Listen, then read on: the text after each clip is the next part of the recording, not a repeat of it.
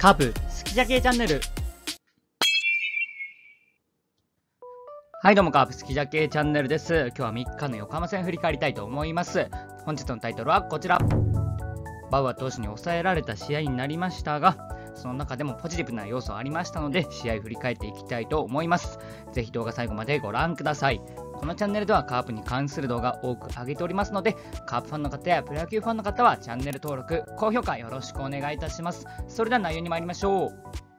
はい、というわけで3日、横浜戦は1対4でカープ敗れてしまいました。横浜の先発が注目のバウアー投手ということだったんですけど、結局1点に抑えられるというゲームになってしまいました。えこの日のスタメンこのようになってます。えセカンド菊池選手がですね、お休みということで、この試合は8番に、えラ沢選手がスタメンで出場してます。えそして空いた1番には野間選手が入って、え2番西川選手、5番坂倉選手という打順になりました。坂倉選手がね、前の試合で満塁ホームラン打など状態が上がっているということもあって、え今シーズン初めて5番起用ということもあって、まあ、それができるので、5番の西川選手を2番に置けるというね、理想的な形を組めているんじゃないかなというふうに思いますので、えこういったね、2番西川選手、5番坂倉選手といった試合増えてくるんじゃないかなというふうに思います。えこの試合の得点は2回の表、デビッドソン選手レフトへのホームランということで、結局この1点のみに抑えられたという試合になりました。はい、この試合ですが、僕も現地に観戦しに行ったんですけど、負けたというところで、今シーズンね、えー、見に行った試合が0勝5敗になったということで、もうすっかりね、負け男になってしまって、なんかちょっと申し訳ないなというところもあります。まあ、こういう風に今シーズンね、5連敗中なんですけど、えー、残念ながら5日のマツダスタジアムでの阪神戦ですね、えー、試合見に行く予定がありますので、ちょっとそこではね、勝って、えー、負け男をね、返上したいというふうに思います。まあ、この写真はですね、リクエスト判定待ってる時なんですけど、まあ、ちょっとそういったね、疑惑の判定といったところもあったんですけど、まあ、打線が1点取れなかったというところがこのゲームもね、えー、痛かったかなというふうに思います。はい、というわけで野手の気になるポイントを振り返っていきます。まずポジティブ要素ですが、韮沢選手スタメン起用に応えるマルチ安打、さらにフォアボール、攻守連発ということで、この試合8番セカンドでスタメンした韮沢選手が非常に良かったというふうに思います。えまず第1打席です。え第1打席追い込まれてからまっすぐをですね、え右方向引っ張りまして、ライト前ヒットバウアー投手、サイ・ヤング賞投手のね、バウアー投手からヒットを打ったということで、非常にいいバッティング、アピールになったんじゃないかなというふうに思います。で、2打席目はね、えー、バウアー投手荒れていたので、しっかりフォアボールを選んだということ。えー、そして3打席目、えー、さらにこの打席もですね、2-1のバッティングカウントから高めのまっすぐを打ってライト前ということで、もう非常にね、えバッティングでアピールできたんじゃないかなというふうに思います。で、守備の方でもですね、え非常にいいプレー連発してまして、まあ、先頭の佐野選手もいきなりね、えライト行くんじゃないかなというところね、守備位置深くて良かったですし、えボール追いついて、一塁アウトにするというところで良かったと思います。えー、その他にもね、えー、ちょっと誰かバッター忘れたんですけど、大道投手から打った打球がね、大道投手のグローブに当たってボテボテになったんですけども、そこも韮沢選手がしっかりカバーして、えー、アウトにしたというところもありますし、まあ、センター方向へ抜けそうな打球を、えー、取って、まあ、そこから難しい体勢なんですけど、一塁へストライク送球してアウトにしたということ、えー、また京田選手のね、ライト前に抜けそうな当たりを、えまあ、悩んだにはなったんですけど、止めて、え1点をね、阻止したというところもあっても、守備もね、いいなというふうに思いましたので、まあ、出番増えてくるというか、まあ、出番増やしてあげてほしいなというふうに思います。まあ、セカンドはね、ちょっと菊池選手がいて、なかなかね、えー、菊池選手も状態がいいので出番がないというふうには思うんですけど、まあ、ショートといったところもね、えー、高校時代であったり、2軍の時はね、やっていましたので、まあ、そういったショートで起用するのも、まあ、一つ面白いんじゃないかなというふうに思います。えー、この試合本当にね、バウアー投手から3出塁というね、非常にいいアピールになってましたし、まあ、守備も連発、いい守備連発していたということで、えー、ちょっとね、カープ、あの中堅以降の選手が多いというスタメンの中でね、こうすると4年目、えー、若いフレッシュな選手のね、こういう活躍を見れたというのは良かったので、えー、もっとちょっと出番を与えてあげてほしいかなというふうに思う活躍でした。えまたね、次の試合からもね、期待したいと思います。えそしてデビッドソン選手、え高めのストレートを叩いてスタンドインということで、え2回の表、えツーアウトからね、バウアー投手の高めのまっすぐをですね、叩いてホームランということで、もうあっぱれでした弾丸ライナーでいいバッティングになったかなというふうに思います。えここまでね、なかなかまっすぐ、え振り遅れるというところがあったんですけども、バウアー投手のこのまっすぐにはね、え強く振り抜いてタイミングも振り遅れてなくてね、え引っ張れていたので良かったかなというふうに思います。まあ、こういうちょっと高めの球はですね、吉吉村投手からもホームランを打っていたり、この高めのまっすぐというところはね、比較的強いんじゃないかなというふうにね、感じさせてくれる一発になったかなと思います。えー、この試合はね、足を上げるというバッティングフォームに、えー、また変えていたんですけど、まあ、しっかりね、振り遅れずに対応できていたので、えー、良かったんじゃないかなと思います。これで5試合連続ヒットというところにもなってますので、え状態ここからね、まだまだ上げてくれるというところを期待していきたいと思います。えー、そして代打、堂林選手追い込まれてから外のストレートをツーベースということで、えー、7回の表、ツーアウト1塁の場面で堂林選手、えー、代打で、え出場しました。で、2-2と追い込まれていたんですけども、最後ね、外の153キロのまっすぐ振り遅れることなく、えライト方向へのツーベースを打ったということで、非常にね、いいアピールになったんじゃないかなというふうに思います。えバウアー投手ね、チェンジアップだったり、緩いカーブがあるので、そういったところをね、ケアしないといけない中で、このまっすぐに振り遅れずに右方向、広角にね、打てるというところはね、やっぱり堂林選手の力だなというふうに感じましたので、えまあ、これでようやくね、今シーズン2本目のヒットというところではあるんですけど、まあ、なかなか出番もなくて難しい調整といったところで久しぶりに結果が出たというのはね、え一つポジティブな要素なんじゃないかなというふうに思います。で、ライトのね、ちょっと野間選手が不調というところもあるので、またここね、堂林選手チャンスですので、えスタメンというところも出てくるかなと思うので、まあ、そこでまたしっかり結果を残してスタメンをね、えがっつりと、えー、掴むというところにね、期待していきたいというふうに思います。ます。そして5番、坂倉選手、マルチ安打、えー、実戦からも5番と5番でということで、えー、この試合5番で出場した坂倉選手なんですけど、まあ、しっかり、えー、結果を出しているというところで良かったかなというふうに思います。まあ、1本はね、え内野安打というところはあるんですけど、9回ね、山崎選手から、えまたレフト方向へヒットを打って、えいましたので、まあ、そこら辺の、ね、状態はね、やっぱり上がってきてるなというふうにね、感じさせてくれる打撃でした。で、やっぱり坂倉選手が5番に置けるとなれば、西川選手を2番に置けますので、えこの状態でいけるのであれば、えこの2番西川、5番坂倉といった形で、ね、いけるというふうにね、思いますので、まあ、やっぱりこのね、2番西川選手にね、置くというところで攻撃が活性化されますので、えー、この打順で、えー、また行ってほしいなというふうに思います。えー、そして反省ポイントは今日もチャンスであと1本が出ずということで、まあ、ヒットはね、8本打ってるんですけど、えー、1得点に抑えられてしまったというところで、まあ、ちょっとね、こっちがチャンスになると、バウアー投手が、まあ、ギアちょっと上げていたのかなというところで、難しいところはね、あったからと思うんですけど、まあ、得点圏にはね、ランナー進めていたにもかかわらず、えー、あと1本が出なかったので苦しかったかなというふうに思います。えー、やっぱりちょっとね、得点圏でタイムリーがなかなかチームとしてあまり出ていないというところも、えー、見えてきているので、そこでね、なんとか1本ね、欲しいなというふうに思います。まあ、ただ7回のね、ツアウト2、3塁の松山選手対バウアー投手といったところなどはね、本当に痺れて、松山選手もね、えー、よく粘ったんですけども、ラストボールね、バウアー投手のチェンジアップ、まあ、あれはね、打てないかなというぐらいのところで、まあ、バウアー投手がすごかったというところもあるのでね、まあ、なんとかね、次の試合からは切り替えてタイムリーといったところが出てくればいいかなというふうに思います。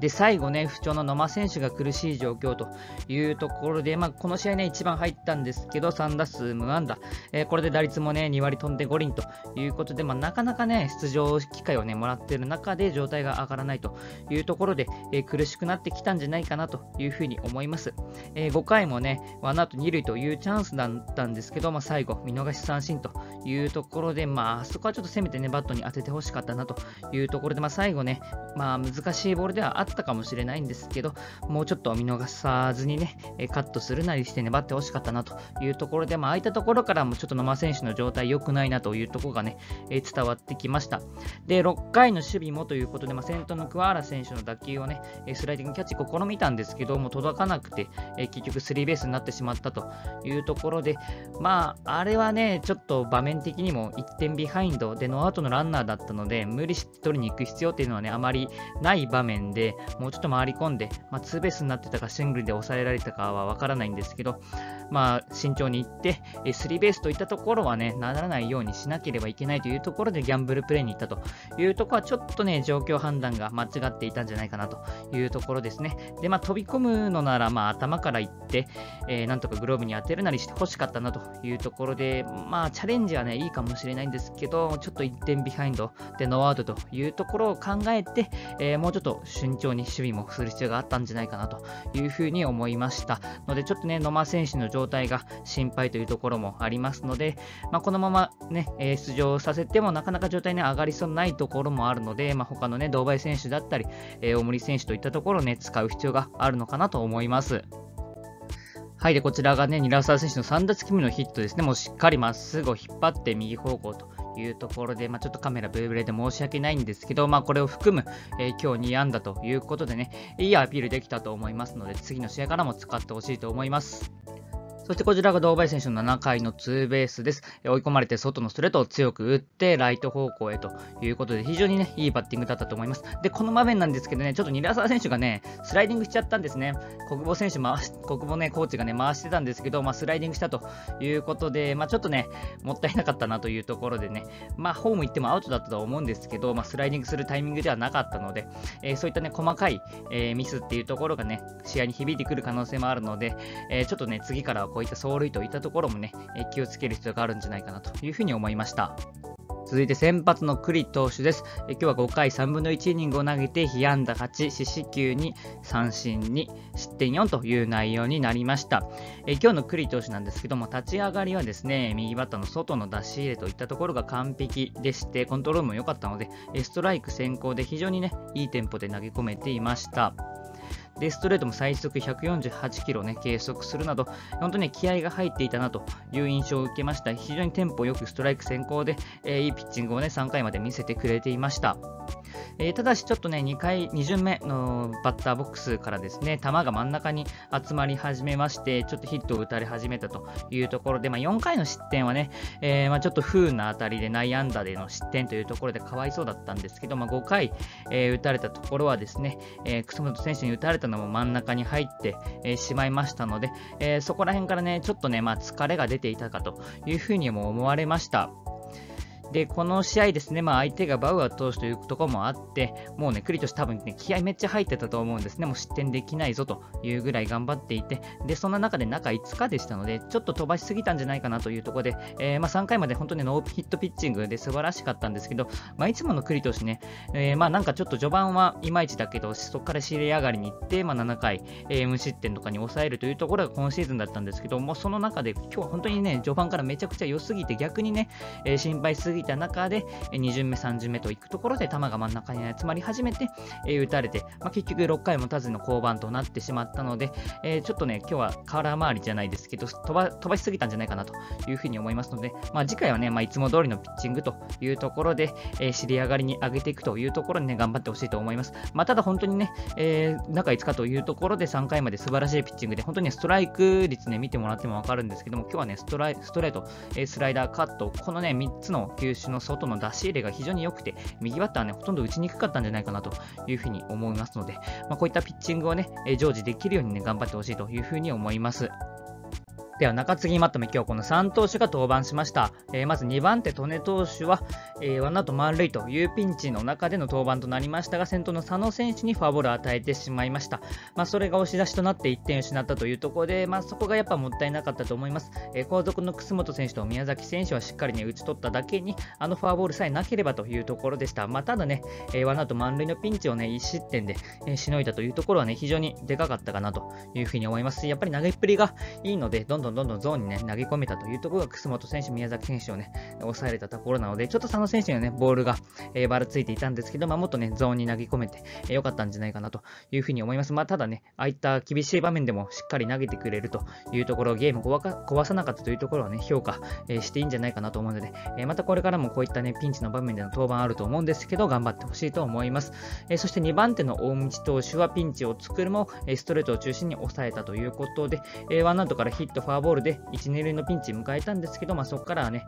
えー、ほとんどストレート中心で抑えてくれました。えー、最速152キロ計測してましたし、まあ、その球で空振りを奪えるなどね、やっぱり今シーズンの大道投手といったところは、このストレートの力強さを取り戻して、非常にね、えー、いいボールがいってるんじゃないかなというふうに思うので、まあ、フォアボールといったところもね、ちょっとストレートが荒れていたので、えー、もっとね、自信持ってゾーン投げ込んでいいんじゃないかなというふうに思います。まあ、ただね、ランナー作ってピンチ、えー、作ってしまったんですけど、無失点に抑えれたというところころね、非常にね、価値があるかなと思うので、えー、次回登板以降もね、期待したいと思います。えー、そして4番手の堀江投手、素晴らしいピッチングでした。今シーズン1軍初登板となりましたがね、非常に良かったです。えー、堀江投手なんですけど、今シーズンね、もう非常にね、2軍でいいピッチング続けてまして、え、2軍ではね、もうずっと失点せずに、えー、奪三振率も高いというところで、10試合連続無失点だったんですね。で、ようやく1軍上がる場面が来て、えこの日のピッチングなんですけども、そのね、2軍での、え見せてくれた成長、いい成績通りのピッチングでした。え最後は上里選手をインコースの153キロで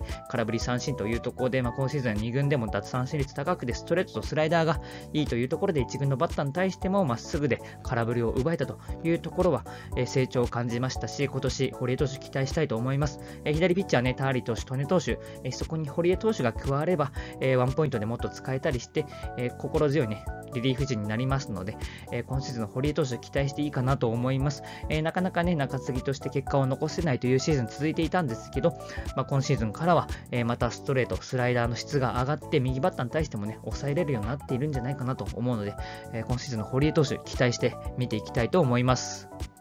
最後に次の試合です。カープの先発は森下投手、横浜の先発は石田投手となってます。えー、カープの先発の森下投手は右肘の手術から復帰となる森下投手が今シーズン1軍初登板となります。えー、2軍でもですね、前回は、えー、1軍での登板を見据えて球数少なめで下ろすなどね、最速も149キロ計測してましたし、えー、もう状態は上がってきているというところでの1軍登板となりますので、えー、期待したいというふうに思います。で一方、横浜の石田投手は開幕投手だったんですけど、まあ、そのね、開幕戦は負け投手になったんですけど、まあ、それ以降は、えー、無失点、もしくは1失点の登板というところで、非常にね、安定したピッチング見せていますので、えー、ちょっと苦戦してしまうんじゃないかなというふうに思います。で、森下投手はね、えー、まだちょっと2軍で球数ね、100球投げた試合がね、ないというところもあるので、まあ、そこら辺ね、新井監督も見て、おそらく100いかないところで降板になるというふうに思うので、もしかしたら早めの系統になってしまうかなと思いますので、まあ、今シーズンね、リリーフ陣安定していますので、えそのリリーフ陣の力というところも重要になってくるんじゃないかなというふうに思います。で、今シーズン初のビジター勝ち越しへということで、えー、1勝1敗で来てますので、ビジターね、なかなか今シーズン勝ててないというところで、ここらでね、勝ち越ししてほしいなというふうに思うので、えー、なんとか打線がね、森下投手を援護してほしいと思うので、まあ、石田投手強敵ではあるんですけど、えー、打線ね、まあ、バウエ投手に抑えられる前までね、状態上がってきてましたので、また心機一転、えー、打線つながって点を取って、森下投手勝ちつけてあげてほしいなと思います。最後までご視聴いただきありがとうございました。バウアー投手に抑えられた試合となってしまいましたが、次の対戦では打ち崩してくれるんじゃないかなという期待も見せてくれましたので、期待しましょう。このチャンネルの登録、高評価もよろしくお願いいたします。それではカープの勝利を祈りまして、ガガガガガムシャラカープ頑張れ